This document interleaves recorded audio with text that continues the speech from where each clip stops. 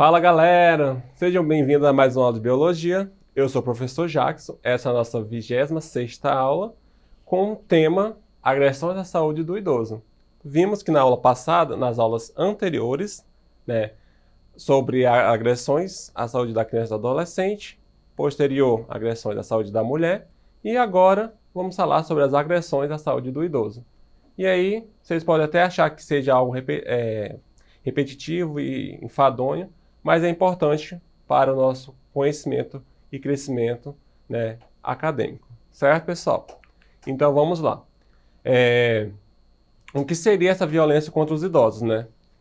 É, esse fenômeno não só ocorre aqui no Brasil, não é um fato só do Brasil. Ele acontece em âmbito universal ou mundial, né?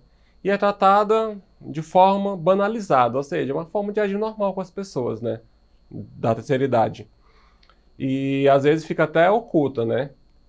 Ah, só que essa forma que a sociedade trata o, a pessoa idosa é muito contraditória, porque passa uma visão muito negativa do que seria envelhecer, né? Ou seja, passa aquela ideia de que você envelhecer é algo ruim, que você não presta para nada, que você não serve para nada, que você é um zero à esquerda, que você é um peso morto né? E eu vou mostrar para vocês que a pessoa idosa é uma pessoa como qualquer outro indivíduo, dotado de direitos e deveres. Lógico que ele já passou da sua, parte, a sua parte produtiva, né, em termos de trabalho, mas que ele pode estar, sim, ativo, fazendo várias coisas dentro da sociedade. Certo, pessoal? Então, eu trago aqui para vocês, nesse slide, né, é, o conceito que a Organização Mundial de Saúde, que eu falei para vocês, traz sobre o que seria, o que se concretiza, o que se caracteriza a violência contra o idoso, né? É a violência ou negligência contra o idoso. Pode ser um ato único ou repetido que ocorre em qualquer relacionamento onde há expectativa de confiança ou a pessoa, né, que está em situação de poder e autoridade exerça essa força física ou psicológica sobre essa pessoa idosa, certo, pessoal? E aí nós vamos ter alguns tipos de, assim como nas outras, nos outros, nas outras aulas, vamos ter a tipologia que engloba as violências contra o idoso. Temos a estrutural, a institucional, a interpessoal, violência física, violência psicológica, abusos financeiros ou material, abuso sexual, abandono e negligência. Aqui eu trago para vocês o que? Sobre a violência física. Talvez já ficou até chato falar sobre o que eu já falei na criança e adolescente, então vou tentar resumir aqui para vocês, né, como eu já falei anteriormente, o que seria essa violência física? É todo aquele ato que, você, que a pessoa utiliza para é, tentar anular, tentar acabar com a pessoa, ou seja, ferir propositalmente, tá? Não é um acidente. É causar sofrimento, é causar dor, é causar agonia, é lesionar a pessoa, né?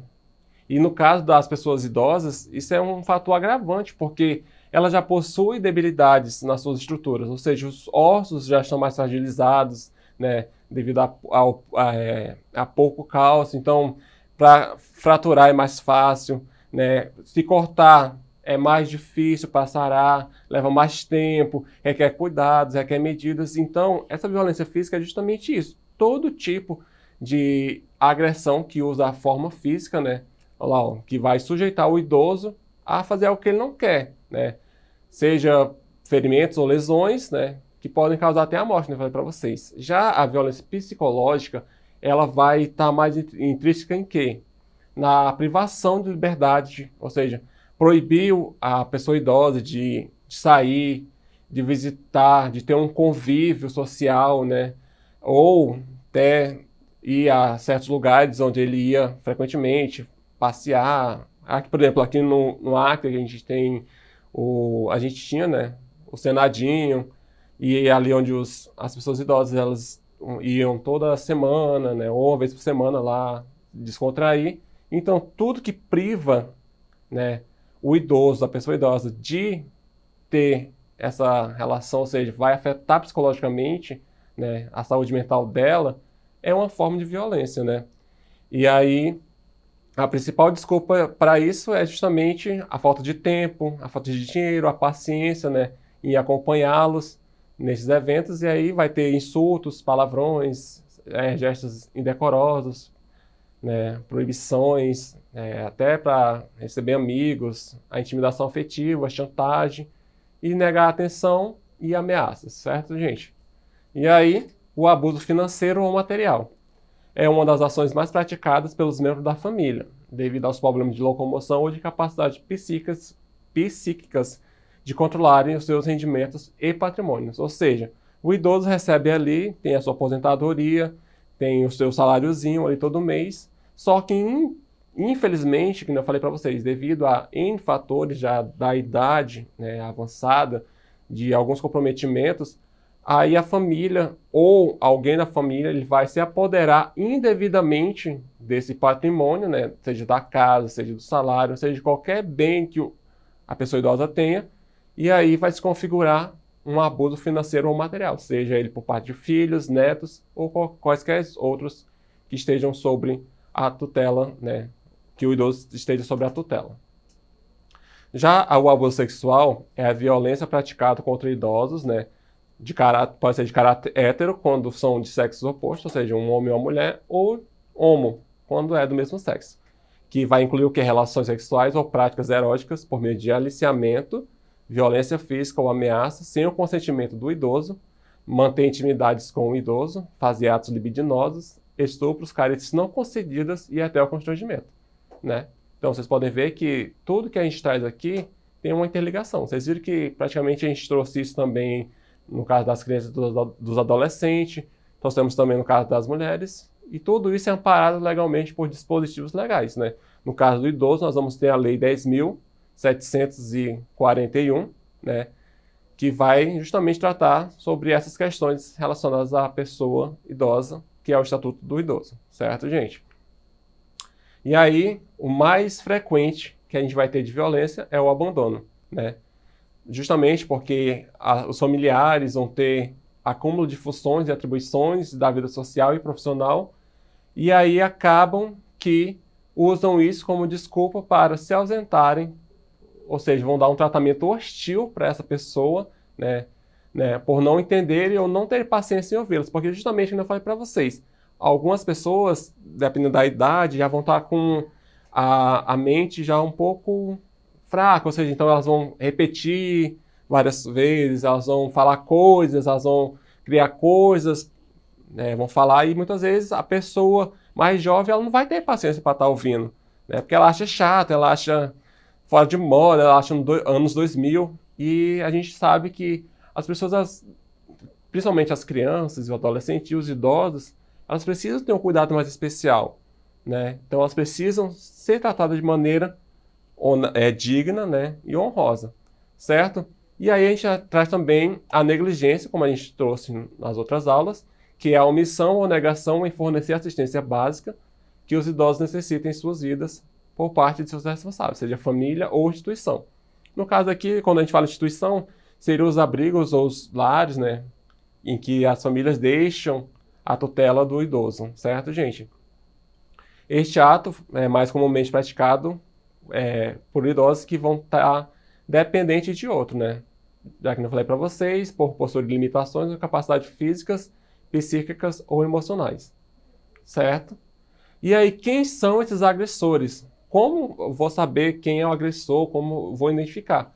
Justamente porque os agressores eles podem fazer parte da família, pode ser a própria família do, da pessoa idosa, podem ser amigos dessa pessoa idosa, podem ser vizinhos dessas pessoas idosas, podem ser proprietários, aqui no caso, se a pessoa, por exemplo, morar alugado ou estiver sob a tutela né, de alguém, e aí cuidadores, profissionais da saúde ou outros, né, também da área da saúde, que estejam é, prestando serviço a essa pessoa com essa pessoa idosa e justamente aí ele pode ser um agressor, porque ele pode estar praticando qualquer uma das violências que nós citamos na aula de hoje, né? E aí, na, na sexta posição ali, nós vamos ter qualquer indivíduo em posição de poder, ou seja, qualquer ser humano, qualquer pessoa, homem, mulher, é, crente, católico, qualquer um, dependente de credo religioso, qualquer pessoa pode ser um agressor em potencial certo? Porque justamente ele vai estar envolvendo ali poder, confiança e autoridade nessas relações, certo, gente? E aí, quais sinais essas pessoas vão apresentar de que elas estão sofrendo algum tipo de abuso ou violência ou agressão, né? Elas vão apresentar sinais de depressão ou ansiedade, elas vão ser reclusas, ou seja, elas não vão querer sair, vão ficar em, querer ficar em casa, querer ficar no quarto, não ter nenhum convívio, não ter nenhuma relação, seja até mesmo com é, pessoas mais próximas da família, né, netos, filhos. É, vão apresentar é, feridas físicas, ou seja, lesões, como a pele já está um pouco mais é um pouco mais fina, mais delicada. Então isso é mais aparente, né? E essas feridas físicas inexplicáveis, ou seja, a, a pessoa não consegue explicar como foi que se machucou, já é um indício de que ela sofreu algum tipo de violência. No caso, a violência física, certo? Ela também pode demonstrar medo diante de certas pessoas, ou seja, chegou uma pessoa e aquele, aquela, a, o idoso ele se, se, retraiu, ficou mais caladinho, é, não demonstrou muita sociabilidade, então isso é sinal de que aquela pessoa possa também estar tá praticando essa violência, né? Vão se tornar passivos ou submissos, ou seja, vão obedecer a tudo e a todos, né? E também vão apresentar mudança na higiene e na, na nutrição, ou seja, vão se alimentar de maneira é, errada, não vão fazer a higiene, é, não vão se higienizar de maneira correta. Tudo isso aí já são indícios de que a pessoa sofre de alguma violência, né? E aí eu trago aqui os efeitos sobre a saúde, né? O abuso e a negligência são a fonte principal de estresse e pode ter efeitos de longo prazo sobre a saúde e bem-estar do idoso. O estresse devido a abusos pode desencadear dor no peito ou angina e pode ser um fator de problemas cardíacos. E você sabia que entre 44% a 62% dos idosos que sofrem abuso experimentam algum tipo de depressão? É, gente, e 6% dessas, desse percentual, dessas pessoas idosas, elas desenvolvem um quadro grave de depressão. Ou seja, eles entram na depressão, né? Eles experimentam ali por estar sofrendo um tipo, seja psicológica, física, abandono ou a negligência. E aí, 6% dessa, dessa população vai o quê? Vai aprofundar mais nessa depressão, levando até a morte, né? E o idoso que sofre abuso ou negligência, ele tem 200% de risco de morte prematura, ou seja, ele extrapola os limites de percentagem de morte prematura, ou seja, ele tem mais índice, ele tem mais, ele corre mais risco de morrer de forma inesperada do que qualquer outro tipo de idoso. Certo, gente? E aí, para finalizar, eu trago aqui a política e a legislação de proteção ao idoso, né? Que o, o Brasil ao longo dos 20 anos, é, veio criando dispositivos legais, né? eu falei para vocês, leis, políticas, né, que amparem essa pessoa idosa, é, principalmente as que estão escritas lá na Constituição Federal de 1988, a lei também do Estatuto do Idoso, que é a Lei 10.741. Né? Toda, todavia, a realidade da violência parece que apenas a existência desses dispositivos não é o suficiente para combater esse problema. Né? E conforme que está escrito lá na Constituição, o idoso é um sujeito de direitos, está impedida qualquer forma de discriminação por idade e compete à família, à sociedade e ao Estado. Né? O dever de amparar o idoso, assegurar sua participação na sociedade, defendendo sua dignidade, bem-estar e garantia de seus direitos à vida, gente. Então, por isso que eu quero que vocês tratem as, as pessoas idosas de maneira mais é, honrosa, mais digna, né? Somente lá quando você vai dentro do ônibus, é, é um idoso, você dá preferência para ele sentar, né, justamente já porque ele está cansado, já tem é, debilidades físicas. Então, é isso, gente. A nossa aula por hoje fica por aqui. Eu queria me aprofundar mais, queria conversar mais sobre esses, esses temas, debater mais com vocês. Mas para isso, nós temos a nossa plataforma Eduque, né? É só você entrar lá na www ce.educ.gov e se aprofundar nesse conhecimento, certo? Ficamos por aqui. Um beijo e até mais, gente!